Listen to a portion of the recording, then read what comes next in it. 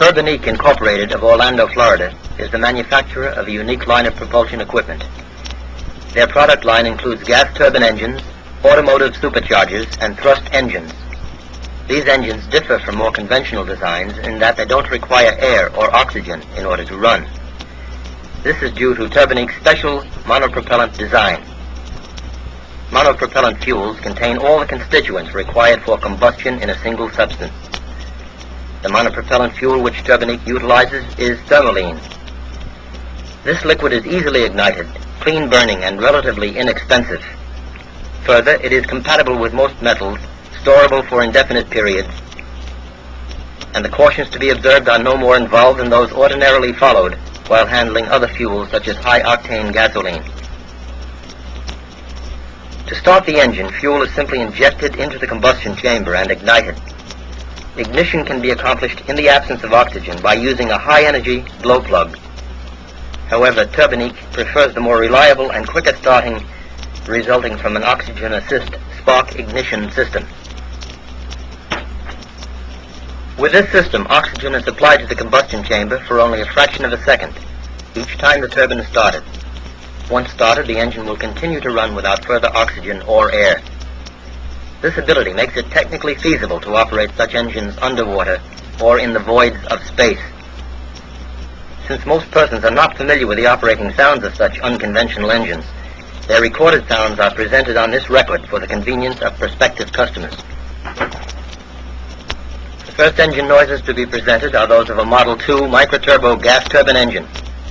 The test engine was set up for operation on Turbonique's Prony brake absorption dynamometer the engine was started under complete stall condition.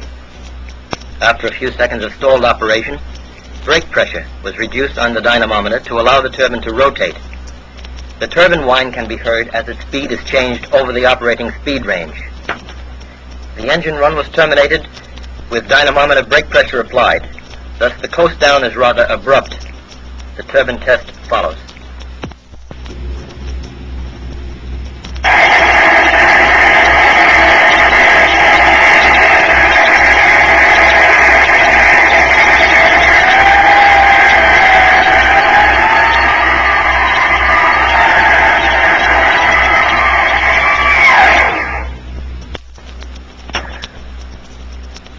The next test you're about to hear is that of a Turbonique auxiliary-powered supercharger.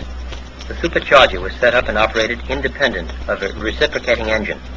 The supercharger's intake manifold was equipped with two Stromberg 97 carburetors. Both carburetors were set with their throttles in the open position. In order to demonstrate the charger's instant response capability under maximum compressor load, the compressor discharge was not restricted.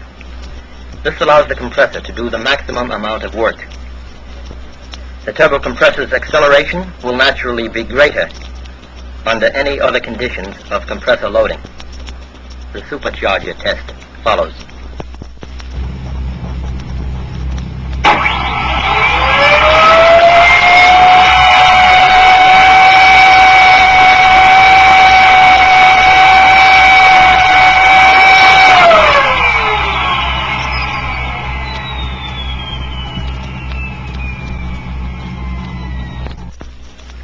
Turbonique thrust engines, which will be heard next, create the greatest amount of noise during operation. The noise level of the thrust engine is significantly reduced when the engine is utilized in conjunction with a thrust augmenting ejector. This test, however, does not utilize an ejector. A Model 12T thrust engine will be heard operating on Turbonique's static thrust measuring stand.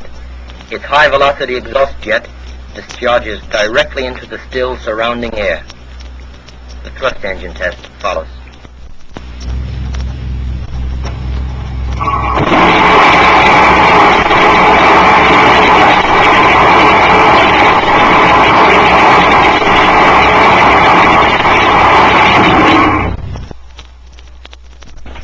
As an acoustical reference, Turbonique has recorded the sounds of three conventional engines. The first to be heard is a V8 automobile engine operating with an open exhaust system. This test is followed by a similar V8 auto engine operating with its factory-equipped mufflers. The last test in the reference series is that of a two-cycle, single-cylinder, cart-type engine. Sounds of reference engines follow.